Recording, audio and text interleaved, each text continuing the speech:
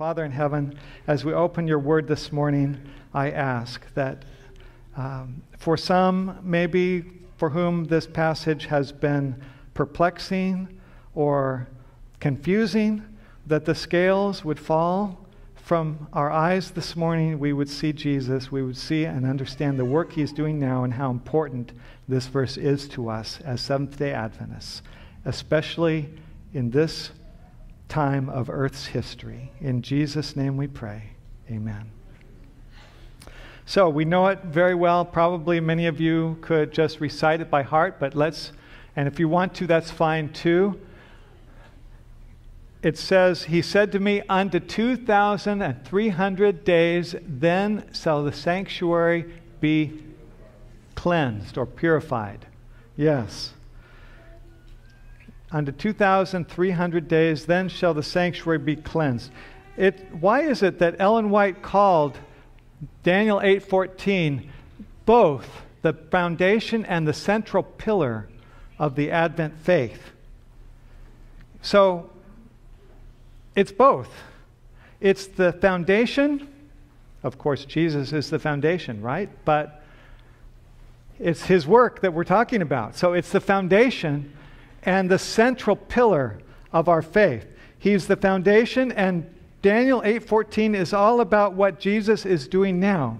But before we get right to a study of this verse, I need to rewind the clock 40 years. Actually, um, it was almost 41 years ago now, the summer of 1978. I was not a believer. Um, I was actually an atheist in high school. I went from, from atheism to had a, quite an interesting journey that I don't have time to go into. But someone handed me the book, The Great Controversy. And I thought I should know something about the Bible. Educated people do. And so I accepted it. And I was told to find a chapter halfway through that looked interesting and read to the end.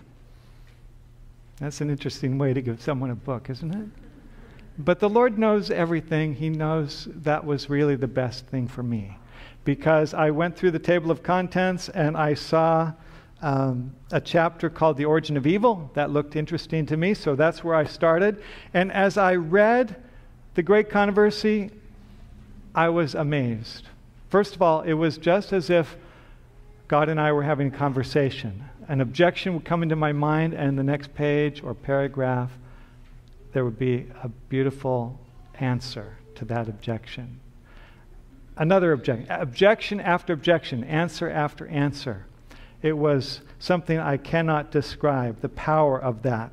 But the most amazing thing of all was the fulfillment of Bible prophecy, because in Isaiah 46, 9 and 10, God says, I am God, and there is None else. I am God, there is none like me, declaring the end from the beginning and from ancient times the things not yet done, saying, My counsel shall stand, and I will do all my pleasure.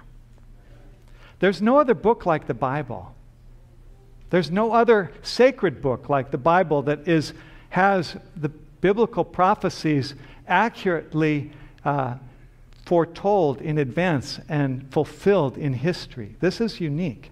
And the most amazing prophecy for me of all was Daniel 9, because right there in, in the Hebrew Bible, the, the Jews' own Bible, is about the Messiah. It mentions Mashiach, Messiah. The Messiah, the Prince, would come. And not only that he would come, but when he would come, exactly when he would be anointed by the Holy Spirit as baptism, the very year AD 27, that in the midst of the week he would put an end to sacrifice and offering. He would be cut off, but not for himself.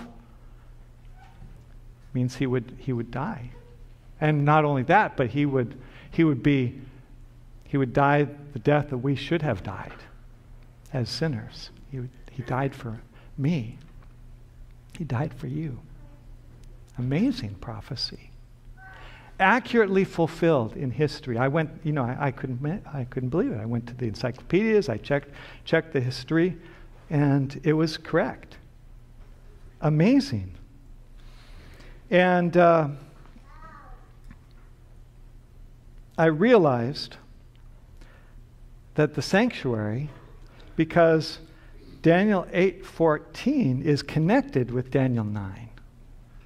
And we'll talk a little bit more about that. But I realized that the sanctuary system given by God was given so that we would understand the way to eternal life. And it was put in such a way, step by step, so none of us need to lose our way.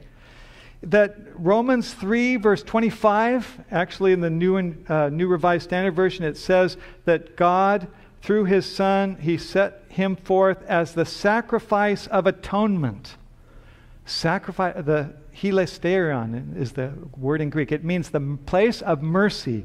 The, the, it was his sacrifice that opened the way for us. And only a God of love, I realized, could devise answers to questions I had not even asked and could make a way that of salvation that a sinful human heart could never devise, let alone fathom.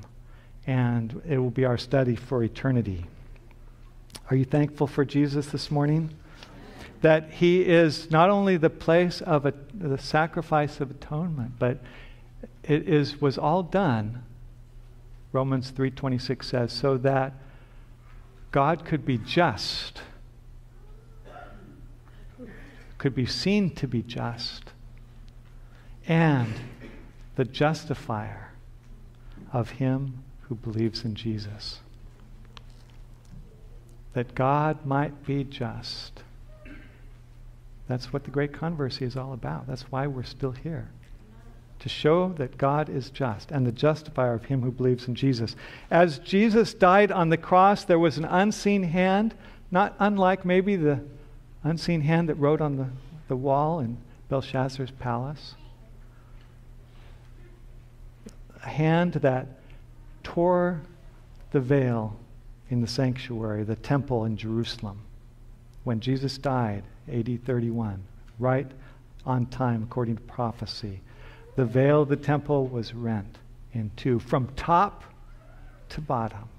God was giving a message from heaven to earth that that was fulfilled. The purpose of these sacrifices was fulfilled in the death of Jesus on the cross.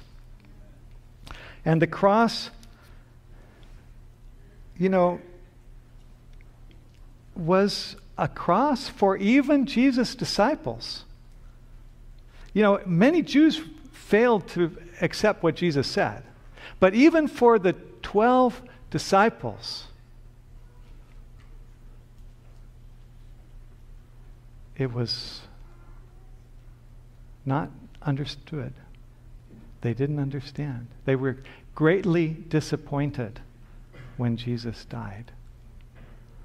And uh, that great disappointment, they, so what did they do? They didn't give up their faith, but they, they prayed.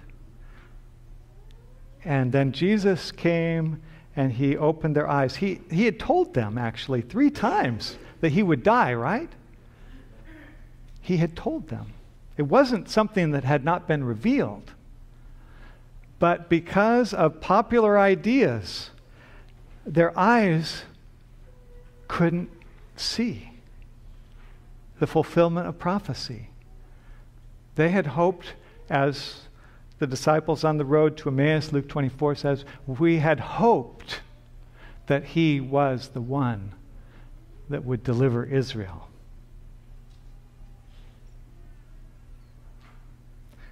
And Jesus said, Oh, slow of heart to believe to believe all that the prophets have spoken. Ought not the Christ to have suffered these things and then afterward entered his glory?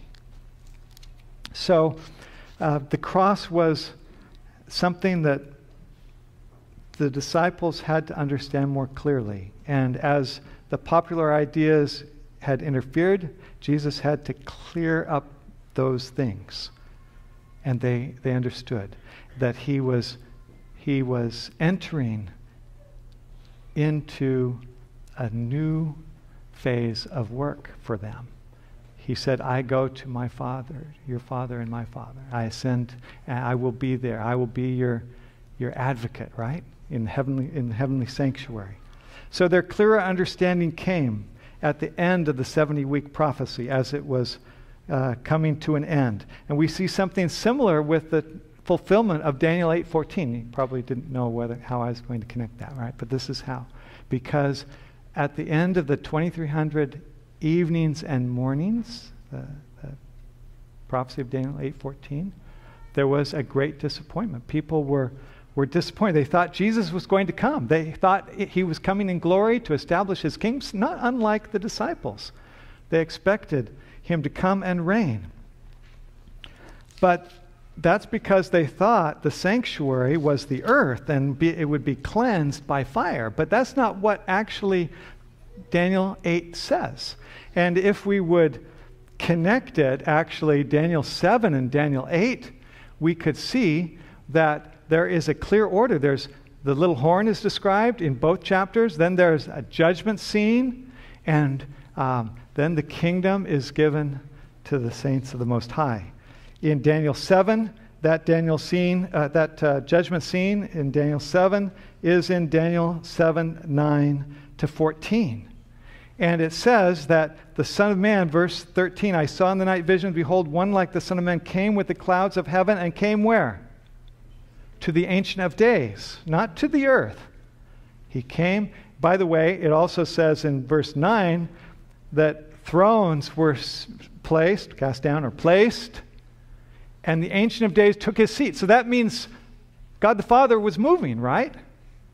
And when Jesus, it says, the Son of Man came with the clouds of heaven, that means he was moving, right? Going somewhere.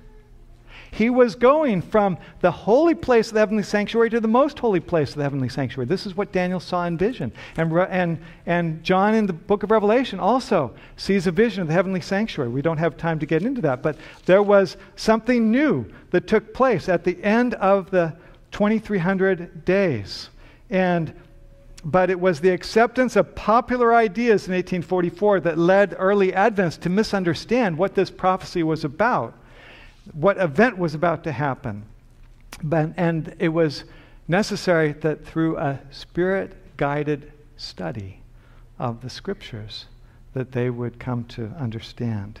And the Holy Spirit opened their eyes to what the meaning of these prophecies was. And they had a clearer understanding that enabled them not only to understand Daniel 8, but the companion passage in Revelation 14 verses 6 and 7 that they had proclaimed on time but hadn't understood. The everlasting gospel fear God, give glory to Him for what? The hour of His judgment is come, and worship Him that made heaven, earth, the sea, and the fountains of waters. They came to understand these things. And um, so, but Daniel didn't understand all of these things. At the end of the book, he asks, What shall be the end of these things? And he is told, Go thy way, Daniel, verse 9, for the words are closed up and sealed till the time of the end. Till the time of the end. Only after the fulfillment of key events would this prophecy be understood, in other words. Jesus said in John chapter 13, verse 19, Now, before it comes to pass, I tell you, when it does come to pass, that you may believe that I am He.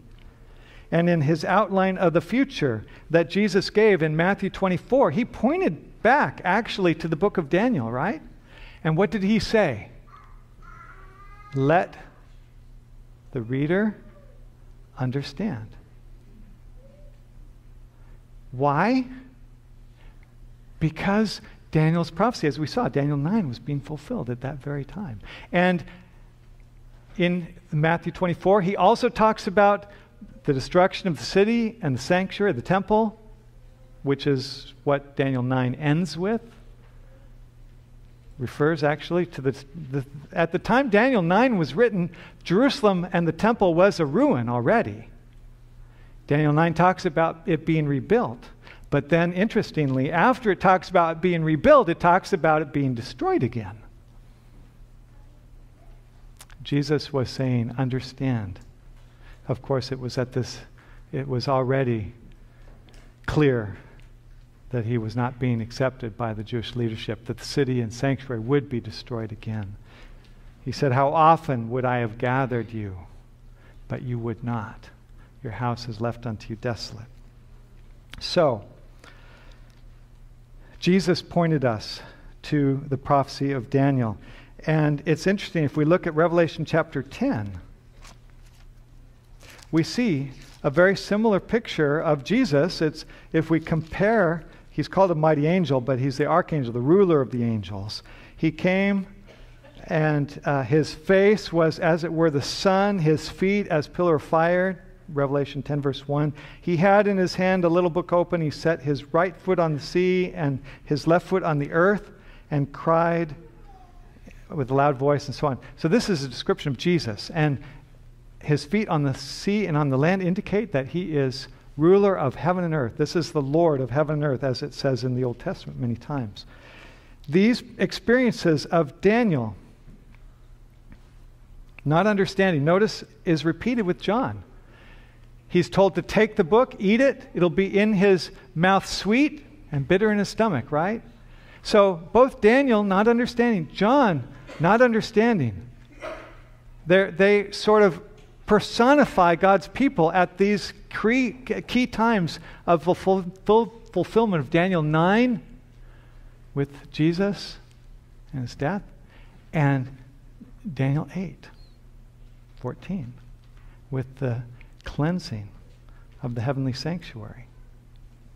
And that's why in Revelation 11, verse 1, oh, actually, let's go to 10, verse 11 first. He said to me, because in his belly it was bitter, he did, it was a bitter experience, bitter disappointment. He said to me, Thou must prophesy again before many peoples and nations and tongues and kings. Thou must prophesy again. So, what does that mean? There's only one other time in Revelation where we find a message that must be given to many peoples, nations, and tongues. Where is that? Come on. Revelation 14, yes. Verse 6. Okay? First angel's message. To every nation, kindred, tongue, and people. So, and it's the only place that it, these verses are clearly connected Revelation 10, verse 11, and Revelation 14, verse 6. And uh, then this time the message would be given in light of an increased understanding of the sanctuary gained through studying the temple, because chapter 11, verse 1, the very next verse, after chapter 10, verse 11, John is told, he, he's given a rod and the angel stood, saying, Rise and measure what? The temple. The temple of God and the altar and them that worship therein. So, in other words, understand just what Jesus says. Understand, study, measure the temple, the sanctuary. They were pointed to the sanctuary as the key, the temple in heaven. And at the end of the chapter, this key verse in Revelation 19, the next time the temple in heaven is mentioned here, it says, And the temple of God was opened in heaven, and there was seen in his temple the ark of his testament, and there were lightnings and voices and thunderings, etc. Amazing. This, as I came to understand the fulfillment of these prophecies and how the great disappointment was actually predicted, Revelation chapter 10 and its solution here in Revelation chapter 11. It was, it was amazing to me. I was now on the way to faith. I began to understand this complete system of truth that the great controversy speaks about. Complete system of truth, connected and harmonious. As I was following the footsteps of the pioneers studying these prophecies, Everything fit together. The sanctuary was the heart and central pillar of the Advent faith. I understood that. Those who receive the seal of God in Revelation will keep all his commandments, including the seventh day Sabbath, because it's written in their minds, it's written in their hearts. As uh, Jeremiah 31 says, uh, Hebrews 8 and Hebrews 10, the new covenant promise I will write their, my laws in their minds, in their hearts. In contrast to those who are sealed, Revelation pictures those who receive the mark of the beast. We don't ha- obviously have time to go into the difference there in very much detail, but it's interesting that the remnant mentioned at the end of chapter 12 are those who keep the commandments of God, have the testimony of Jesus Christ. In Revelation 14, verse 12, again, the, just before Jesus comes, which is pictured at the last part of Revelation 14, it says, Here is the patience of the saints, verse 12. Here are they that keep the commandments of God and the faith of Jesus. I, I so much appreciated the children's story this morning. You know, obedience. Um, do we ever grow out of the need to obey? We don't, because we're children of God.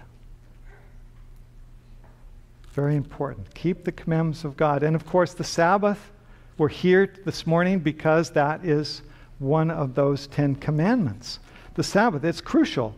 I was deeply impressed by the fact that here in Revelation 14 and Revelation 7, it's very clear that the 144,000, those who receive the seal of God, are those who keep the commandments, including the Sabbath, which is at the heart of the Ten Commandments, explains who God is as ruler of heaven and earth, creator of the heaven and earth, in six days, rested on the seventh day. It's, it's the sign and seal of our relationship to Him, the Sabbath is.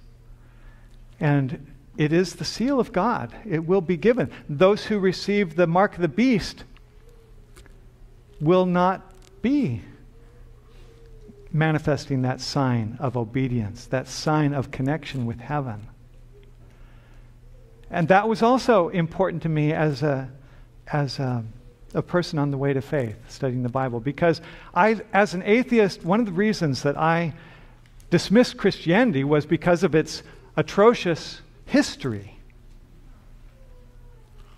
And I use that word deliberately. There were atrocities, millions of people martyred, burned at the stake through Christian history. How could God, how could they be the people of God? How could God condone that? And then I realized as I was studying Revelation, there's not one woman in the book of Revelation, there are two. There's this pure woman, Revelation chapter 12, clothed with the sun, this light of God's glory representing his character and truth, that they shine as the light of the world, as Jesus calls us to be. And there's a second woman, Revelation 17 a harlot, holding the golden cup of the sanctuary in her hand, filled with the wine of Babylon, this confusion and confusing teachings and doctrines, and drunk with the blood of the saints. The blood of God's people. Not just a few sprinkles here and there, drunk with the blood of the saints. What a terrible picture. God, and I discovered God does not own Christian history, and we don't have to look back at Christian history and somehow try to explain. No, it's already explained. Already, and if we had time, we could look at the 1260 day prophecy. It's also mentioned in Revelation 12 twice, and also Revelation 13, in case we didn't quite get it. This 1,260 year period, because a day in symbolic prophecy represents a year of time, real time. When did that end? 1798, with the capture of the Pope by Napoleon, Berthier, uh, the, the general, Berthier, and took, imprisoned him and broke the power of the church. The state control of the church. Broke it. And after that, after that period, it says there would be signs, right? Okay, actually leading up to the end, signaling the end of that period. And also afterward, 1833, the falling of the stars, and then the rise of the remnant. God, God calls this remnant into existence. That is those who keep the commandments of God and have the testimony of Jesus Christ. Revelation 12, 17. So that's history. We don't, we, God doesn't claim that history as His. We don't need to claim that history as ours. We have a different history. God raised us up at a very specific point in Earth's history in order to fulfill the three angels' message commission. This is the Great Commission applied to the end time, Revelation 14. Jesus' commission. It's actually the revelation of whom? Jesus Christ. Never forget that. It's the revelation of Jesus Christ himself. So the commission, Revelation 14, is a commission from Jesus Christ, isn't it? So, as I studied these prophecies, Daniel 8, Daniel 9, Revelation 10, 11, 12, 13, 14, it became so obvious to me that the fulfillment of prophecy was pointing to the fact that the Seventh Adventist Church is the only true church because it was raised up by God in fulfillment of Bible prophecy to proclaim, proclaim the third angel's message, and uh, that all of these chapters, these prophecies were clear and convincing. Crystal clear and convincing, coherent. I saw that Indeed, the sanctuary, understanding the heavenly sanctuary, what Jesus is doing now, opens to view a complete system of truth, connected and harmonious. Another surprise was, however, that, and I won't go into great detail of this, but I was, you remember I was baptized in 1978. It's, uh, and then I went, I decided I hadn't learned anything I really needed to know for eternity. And, and uh, I didn't have a Christian education, didn't have an Adventist education growing up. I wanted one.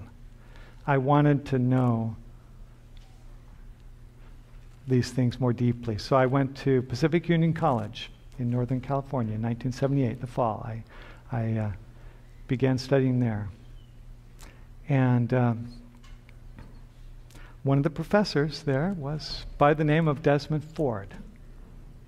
Passed away recently. I, I want to be respectful, but to be honest, he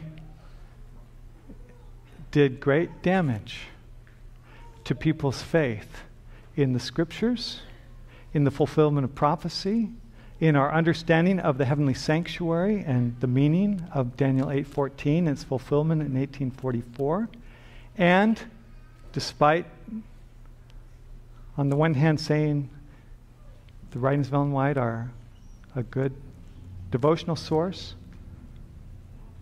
undermining their authority, their spiritual authority. God gave that gift to his last day people. So, of course, not only Desmond Ford, many have taught against this sanctuary doctrine, and, but that's okay. There will always be those who oppose what God is doing in the earth. But I found through, you know, study, and I said to myself, okay, I need to study more deeply. This was an invitation for me. If I had been deceived, I wanted to be the first to know. So I restudied and I studied, and I came to a clearer understanding, even. And, and I became convinced, and through the years of study of this topic, I've become convinced that this is even more solid and more uh, demonstrable than I had initially thought. Even though I was persuaded, I have become more persuaded through the years. And I don't have time to go into all the details of this, but I encourage you to go to our website at Biblical Research Institute. You probably knew that there would be this. I would have to tell you our website, right? It's okay. Okay. I hope you don't mind. AdventistBiblicalResearch.org. AdventistBiblicalResearch.org. Go there and you can find much more information about this important and vital topic that we don't have time to cover, including will be um, sort of a longer version of what I am sharing this morning. Why is this subject so important? how does it impact my life now? Because if we are following Jesus now, that means that we will follow Jesus in what he's doing now for us in the heavenly sanctuary. We will understand what he's doing, and it will matter to us in our lives. The subject of the sanctuary and the investigative judgment should be clearly understood by the people of God. Great Controversy, page 488. Great Controversy, page 488. Maybe advance, yeah, there it is. The subject of the sanctuary and the investigative judgment should be clearly understood by the people of God. All need a knowledge. How many? All. All need a knowledge for what? themselves of the position and work of their great high priest. We can't rely on the pastor or the elder or a Bible teacher. All need a knowledge. And I'm even looking at some of the younger children here this morning. All. You can understand this. You know, sometimes the 2300 days is um, Okay, I see people looking at their watch, and I better uncover my watch. it was covered up. I, um, sometimes the 2300 days is, is described as something that, you know, one of these topics that so it, hard to understand, right? No, it is not hard to understand. But it is if we don't try, if we don't make an attempt to understand it. It's impossible. The subject of the sanctuary and the investigative judgment should be clearly understood by the people of God. All need a knowledge for themselves of the position and work of the great high priest. Why? Otherwise, it will be what? Impossible for them to exercise what? The faith, and notice that is connected with faith. The faith which is essential at this time or to occupy the position which God designs them to fill. We need to follow Jesus at every stage in his work of salvation. Stage one, his sacrifice at the cross. This was his work of reconciliation.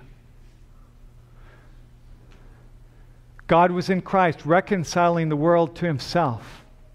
He made him, that is, God made him, Jesus, who knew no sin, to be sin for us, that we might be made the righteousness of God in Him. That's, that's all the sacrifices of the sanctuary point to that one most vital and only sacrifice by which we can be saved.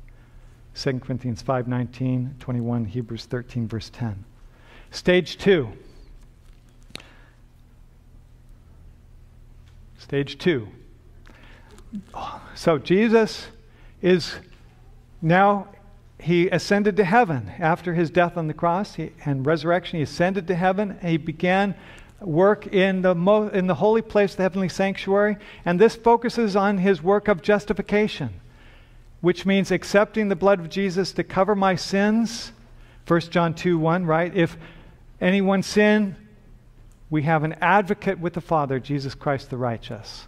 And two, the gift of a new heart Justification includes transformation. Titus 3, verses 5 through 7.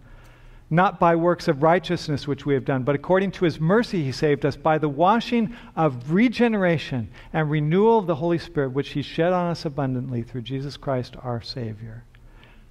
That having been justified by faith, we might become heirs of eternal life. Justification. Stage three, what's he doing now? Most holy place. The focus is on sanctification, which emphasizes obedience to God's commandments, especially the Sabbath rest, the cleansing of God's people, and the blotting out of the record of their sins.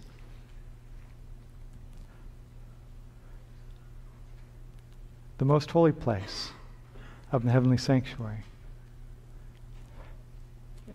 And stage four, when the high priest was finished in his work of cleansing the sanctuary, he came out to bless the people. The focus is on glorification and the second coming of Christ. When he's finished with his work in the heavenly sanctuary, in the most holy place, his work of judgment, he will, and the blotting out of sins, he will put on his kingly robes, come in glory and power to resurrect his people who are sleeping in the grave and translate those who live to see him come, bestowing on them the finishing touch of immortality. So, four stages reconciliation, the cross. Stage one, that's stage one. Stage two, the holy place focuses on justification. Stage three, the most holy place, his work focuses on sanctification. And stage four, the second coming and glorification, the finishing touch of immortality. Our salvation depends on our willingness to follow Jesus at each stage. By faith, looking forward to the second advent, being ready to receive the finishing touch of immortality. Now, unfortunately, some at each of these four stages were not able to follow Jesus at, in his work at that time. Each of the four stages, we see that after Jesus' death on the cross, many Jews refused to accept him as the Messiah and his atoning death as the sacrifice for their sins. After Jesus' ascension, some Jewish Christians clung to the temple services instead of following Jesus through the new and living way into the heavenly sanctuary and looking by faith to his intercession in the holy place as their advocate and mediator. We read that in the book of Hebrews. Don't cast away, therefore, the, your confidence, which has great recompense of reward. And then after 1844, stage three, most holy place, when Jesus entered. Some Adventists refused to follow Jesus by faith into the most holy place, even some still today, rejecting his Day of Atonement ministry with its emphasis on obedience to all of God's commandments, including the seventh day Sabbath. And what about four when Jesus comes again? As the New Testament indicates, in fact, Jesus himself, he asked the question in Luke 18 when the Son of Man cometh, will he find faith on the earth? Will he find faith on the earth? He doesn't answer that question in the Gospels. But I am thankful that he answers that question in Revelation 14 12. Here is the patience of the saints. Here are they that keep the commandments of God and the faith of Jesus. There will be a people, but some of Jesus' professed followers will be unready to meet him, as Jesus said and as Paul warns us in 1 Thessalonians 5. So, each stage there were people that could not follow Jesus. From the beginning, there were, has been opposition to this message of the judgment in heaven and Christ's cleansing of the heavenly sanctuary. And that will continue. And probably we shouldn't be surprised that it will intensify to the end. There will continue to be opposition to it. Notice this statement in the Great Controversy, page 435. Many and earnest were the efforts made to overthrow there the early Adventist faith none could fail to see that an acceptance of the truth concerning the heavenly sanctuary involved an acknowledgement of what? The claims of God's law and the obligation of the Sabbath of the fourth commandment. Here was the secret of the bitter and determined opposition to the harmonious exposition of the scriptures that revealed the ministration of Christ in the heavenly sanctuary. Men sought to close the door which God had opened. What door was that? Into the heavenly sanctuary, into the most holy place of the heavenly sanctuary, right? The men sought to close the door which God had opened and to open the door which he had closed. He had closed the door into the holy place of the heavenly sanctuary and opened the door into the most holy place. But some wanted to close that door and reopen. It was like they wanted to rewind the clock. They wanted to go back to that long period of 1260 years of apostasy. By the way, the Reformation was part of that period. We don't need to go backward. We need to follow Jesus now, going forward in time. Next slide. But he that openeth, who's that? Jesus. He that openeth and no man shutteth, and shutteth and no man openeth, had declared what? Behold, I have set before thee an open door, and no man can shut it. Christ had opened the door or ministration of the most holy place. Light was shining from that open door of the sanctuary in heaven. And the fourth commandment was shown to be included in the law which is there enshrined. What God had established, no man could overthrow. Amen? Well, I'm looking at the clock. We need to just sort of skip through some of these slides very quickly.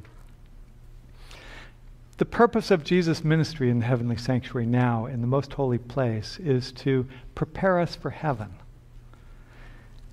Some of us have been to other countries. It's very different from the culture and country that we know here in America. Some of us have lived in different cultures. It's not easy to live in a different culture, speak a different language.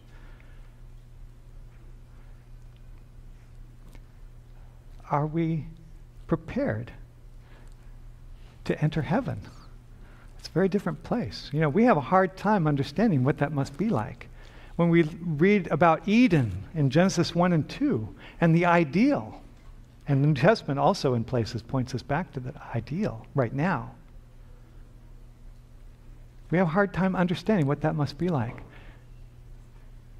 Matthew 5 talks about blessed the blessings of those who follow Jesus and follow him what it means to follow him.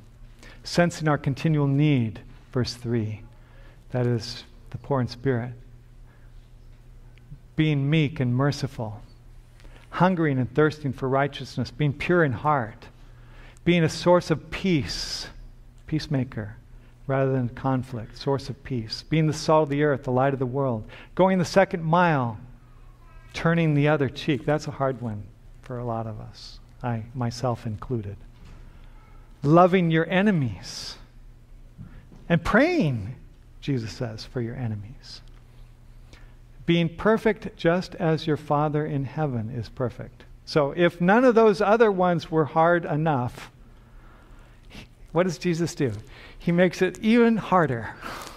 It's why? Why does he do that? Why does Jesus make this so hard? Being perfect. How can anyone be perfect as their Father in heaven is perfect? How can that be?